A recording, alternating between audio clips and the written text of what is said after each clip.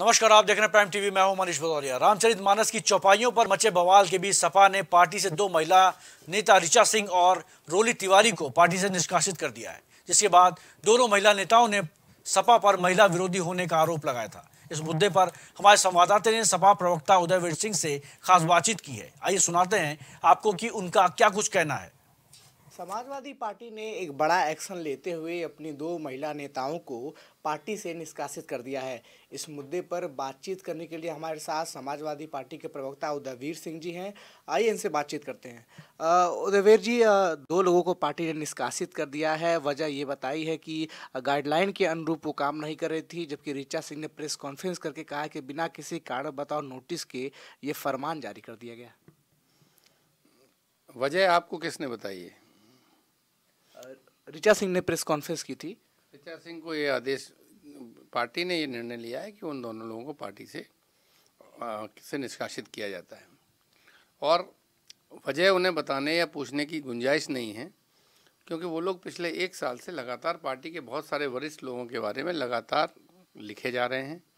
TV चैनलों पर बैठ बैठ के व्यक्तिगत पार्टी के बारे में, पार्टी के सीनियर नेताओं के बारे में और समाजवादी पार्टी की पूरी पार्टी की विचारधारा के बारे में अखिलेश यादव जी को टैग कर करके लगातार खिलाफ लिख रहे थे। तो जिन लोगों ने पार्टी और पार्टी की पूरी लीडरशिप को खिलाफ बोलने का, लिखने का मन बना लिया है, उनका पार्टी में रहने का कोई मतलब नहीं बचा। दूसरी बात यह है कि पार्टी ने स्पष्ट किया है कि वो पार्टी में नहीं है। अब उनको मेंबर हैं, नहीं हैं, किस ज़िम्मेदारी में हैं, उन्होंने कभी किसी बात को माना नहीं है। वो तो अपने आप में स्वयंभू, हर चीज़ में अपने आप को मान रहे हैं तो समाजवादी पार्टी ने उनको पार्टी से अलग करते हुए स्पष्ट कर दिया। ये दोनों जो महिला नेता हैं, वो छात्र संघ से निकली हैं, छात्र राजनीति से निकली थी और समाजवादी पार्टी ने इनको काफ़ी सम्मान भी अपनी पार्टी में दिया था, चुनाव भी लड़ाया था। अब जब पार्टी से निष्कासित किया गया है तो ऋचा सिंह ने प्रेस कॉन्फ्रेंस करके कहा है कि समाजवादी पार्टी में महिलाओं का सम्मान नहीं है। अगर वो ऐसा बोल रहे हैं, देखिए, जब आप एक उंगली किसी की ओर करते हैं तो चार आपकी तरफ़ होती हैं। ऋचा सिंह 2015 में निर्दलीय उम्मीदवार थी। समाजवादी पार्टी के प्रत्याशी का नॉमिनेशन खारिज हुआ तो उनको समाजवादी पार्टी ने चुनाव लड़ाया। छात्र का चुनाव जिताया, पूरी पार्टी ने लग के। वो अध्यक्ष बनी। 2017 में समाजवादी पार्टी ने उन्हें विधानसभा का टिकट दिया। उसके बाद उनकी ट्रेनिंग पढ़ाई लोकतंत्र की, के बारे में प्रेस प्रवक्ता, पैनलिस्ट बनने के लिए, उसके लिए भी जो बाहर ट्रेनिंग कराई गई, उसके लिए उन्हें चयनित करके भेजा, ट्रेनिंग कराया। उसके बाद 2022 में भी टिकट दिया। और क्या सम्मान में चाहिए? राजनीतिक स्पेस तो पर्याप्त मिला। माननीय राष्ट्रीय जी से मिलती रहीं डिम्पल जी से मिलती रहीं, पार्टी के वरिष्ठ नेताओं से उन्हें सम्मान मिलता रहा। कभी किसी को उन्होंने खुद सम्मान नहीं दिया। राष्ट्रीय अध्यक्ष जी, और उनके अलावा आप ट्विटर पर देख लीजिए। कभी किसी के लिए उन्होंने चार लाइन अच्छी लिखी हों। पूरे कार्यकर्ताओं से हमेशा लड़ती रहीं। दस साल, दो चुनाव समाजवादी पार्टी से लड़ने के बाद, आठ, नौ साल बाद अचानक आप कह रहे हैं, यहाँ महिलाओं को सम्मान नहीं है। तो क्या चाहते हैं? समाजवादी पार्टी बसियत कर दे उनके नाम? तो ऐसे लोग जब बोलते हैं, ऊपर को मुँह करके अगर हम थूकते हैं तो हमारे मुँह पे गिरता है। तो प्रश्न ये नहीं है कि वो क्या कह रहे हैं। प्रश्न ये है कि उन्होंने अनुशासनहीनता की थी। वो लगातार सोशल मीडिया से लेके टीवी चैनलों पर जा जा के पार्टी के लोगों को पर्सनली टारगेट कर रही थी, बोल रही थी और एक साल से बोल रही थी।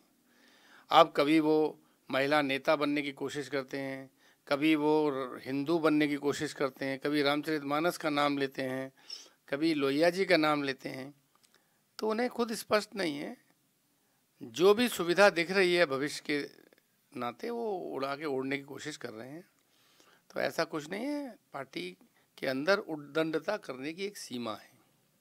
अपनेपन में एक सीमा तक लोगों को समझाया जाता है, उनसे बात की जाती है और पार्टी कोशिश करती है कि जिसके साथ पार्टी ने जिसे प्लेटफॉर्म दिया, सम्मान दिया, पार्टी को प्रतिनिधित्व करने का अवसर दिया, वो पार्टी में बना रहे तो अच्छा है।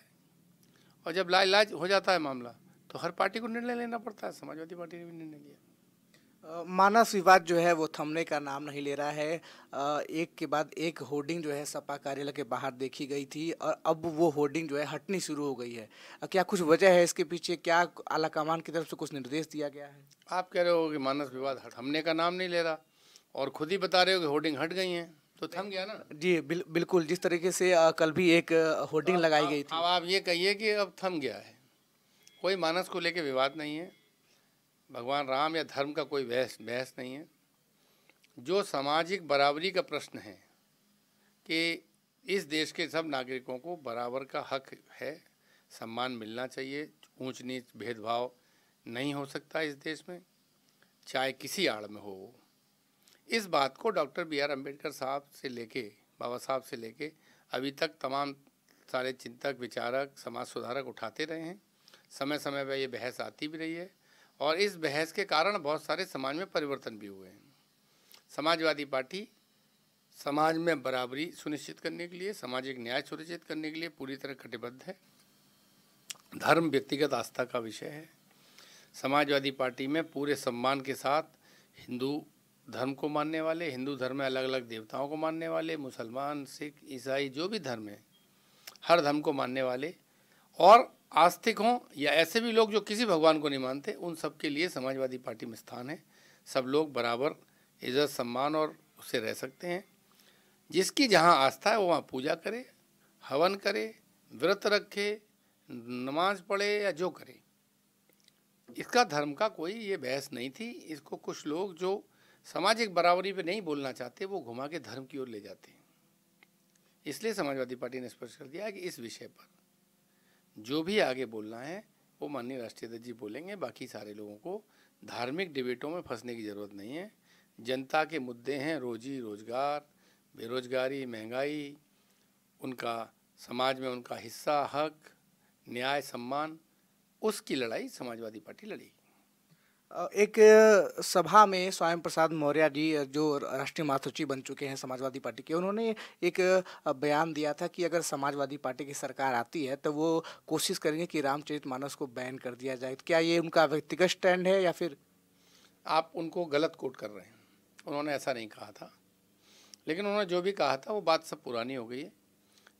अभी बात जो है, समाजवादी पार्टी ने स्पष्ट कर दिया है कि जो कोर मुद्दे हैं, उन पर बात होगी।